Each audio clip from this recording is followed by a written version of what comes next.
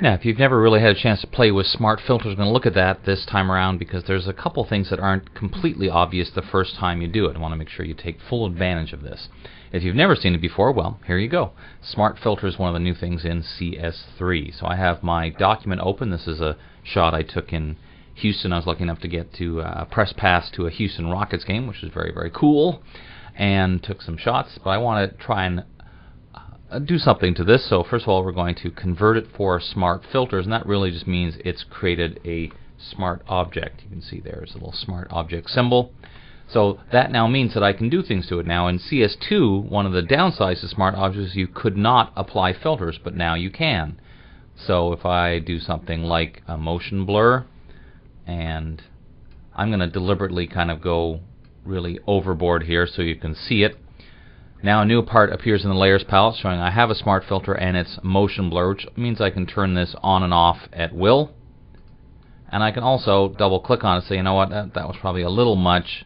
Let me reduce it down a little bit. But it also has this symbol here which is a layer mask symbol.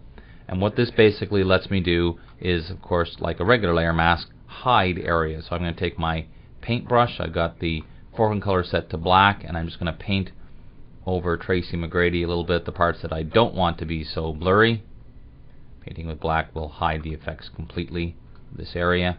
This will just give you the basic idea. Something like this. Now, at a certain point I could now say, even though I've got the mask, I could want to say, you know what, let's see if it would look like if it was even blurrier or less blurry. So you get the idea that you have that option.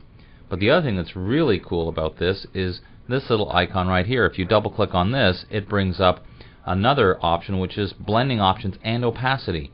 So check this out. You can now lower the opacity of the filter you've applied. Kind of like fade, but interactive fade on an ongoing basis. And or we could try playing around with different blend modes to see what effect we got if we used different effects in here as well.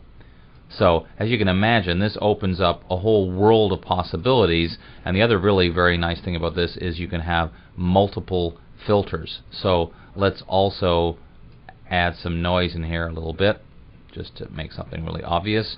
You can see that the layer mask has applied it, but also, again, in this case, I could say, you know, well, maybe that noise a little much, so let's just go in and fade that out so it's not quite so obvious. So smart filters by themselves, very cool, but this little added bonus of this area right here of being able to adjust the blend mode and opacity makes it even cooler.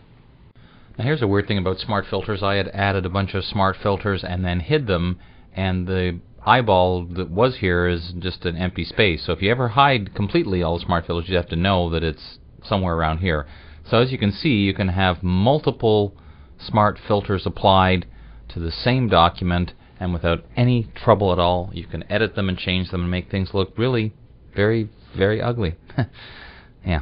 I'm Dave Cross, I think. I'll see you next time.